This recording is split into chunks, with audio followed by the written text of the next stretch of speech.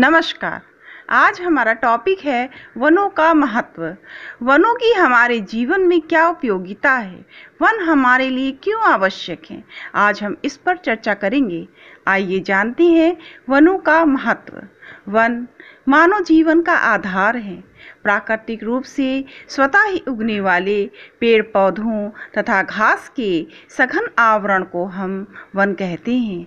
अत्यधिक उपयोगी होने के कारण इन्हें हरा सोना भी कहा जाता है। संसार के सभी भागों में एक जैसी वनस्पति नहीं पाई जाती है। क्योंकि किसी भी स्थान की वनस्पति पर वहाँ की जलवायु, ताप, वर्षा, मिट्टी आदि भौगोलिक तत्वों का प्रभाव पड़ता है। इसीलिए कहीं पर ऊँचे वृक्ष और कहीं घास के मैदान और अत्यधिक उष्ण तथा अत्यधिक शीत जलवायु प्रदेश वनस्पति विहीन रह जाते हैं। वनों के महत्व को हम इनसे मिलने वाले लाभों द्वारा भली प्रकार से समझ सकते हैं। वनों से कई प्रकार के लाभ होते हैं, जिन्हें हम प्रत्यक्ष और अप्रत्यक्ष लाभ कहते हैं। प्रत्यक्ष लाभों में हमें जैसे लकड़ी लकड़ी को हम ईंधन के लिए, इमारतों के लिए, उद्योग धंधों तथा कृषि यंत्रों के निर्माण में उपयोग करते हैं।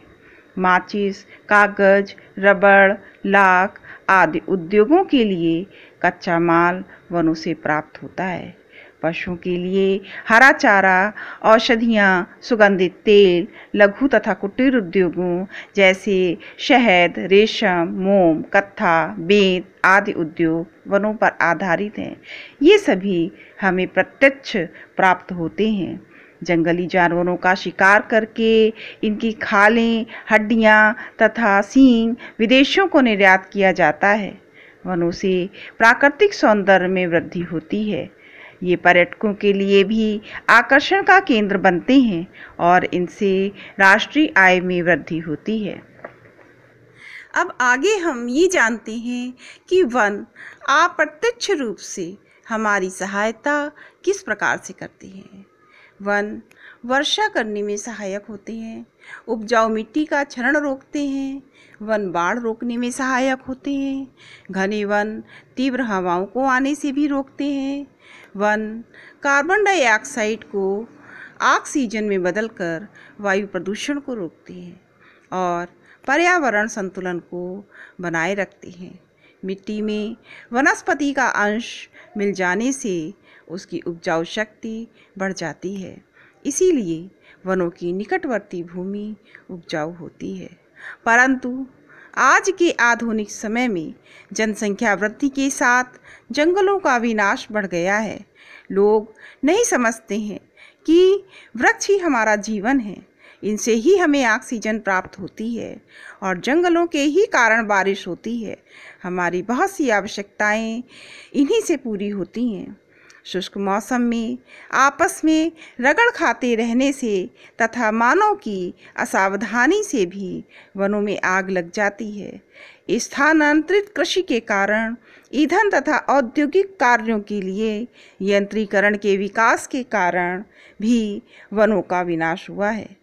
संयुक्त राष्ट्र संघ की रिपोर्ट के अनुसार प्रतिवर्ष धरती पर एक प्रतिशत जंगल की कटाई की जा रही है, जो पिछले दशक से 50 प्रतिशत ज़्यादा है। रूस, इंडोनेशिया, अफ्रीका, चीन, भारत इसमें सबसे आगे हैं। जंगलों की कटाई के कारण जीव जंतुओं की कई प्रजातियाँ विलुप्त हो रही हैं। एक रिसर्च के अनुसार हिमालय क्षेत्र में भूचरण की दर सात मिलीमीटर तक पहुँच गई है, जिसके कारण नदियों में अवसाद अधिक इकट्ठा हो जाता है, जो बाढ़ आने का कारण बनता है। वनों की कटाई के कारण बाढ़, सूखा, भूचरण, ग्लोबल वार्मिंग, मरुस्थलों का विस्तार, जल संसाधनों में कमी, ओजोन परत का क्षरण जैसी आपदाओं का भय बना रहता है। वनों को नष्ट होने से बचाने के लिए वन संरक्षण की आवश्यकता है, क्योंकि वन किसी भी राष्ट्र की अमूल्य निधि होते हैं, जो मानव की तीनों आवश्यकताओं, भोजन, वस्त्र और मकान की पूर्ति करते हैं। इनसे प्रति व्यक्ति आय तथा राष्ट्रीय आय में वृद्धि होती है। जिस दिन वन नहीं होंगे, धरती बंजर हो जाएगी और मानव जाति का भी अंत हो जाएगा। विश्व के सभी देशों में वन संरक्षण जागरूकता हेतु वन उत्सव मनाया जाता है। जैसे जापान में ग्रीन वीक इसराइल में New Year's Day of tree, Bharat में Van Mahotsav, USA, Philippines, Cambodia, Arbor Day. परंतु वनों का संरक्षण वर्ष में एक बार वृक्षारोपण सप्ताह मनाने से नहीं हो सकता।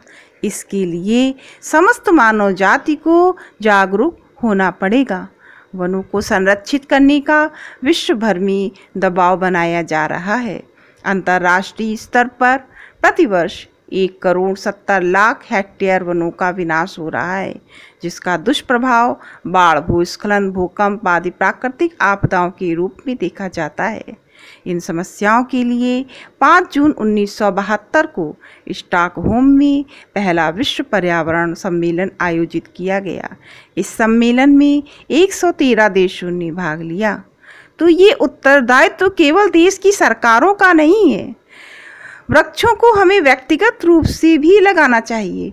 अपने आसपास, अपने पड़ोस, घर आँगन, जहाँ कहीं भी हो सके, वृक्ष को लगाना चाहिए और इसके लिए जन जन को जागरूक करना चाहिए। क्योंकि वन मानव जीवन ही नहीं, अपितु जीव जंतुओं के लिए भी महत्वपूर्ण है। वनों को सुरक्षित रखना हम सभी का कर्तव्य है।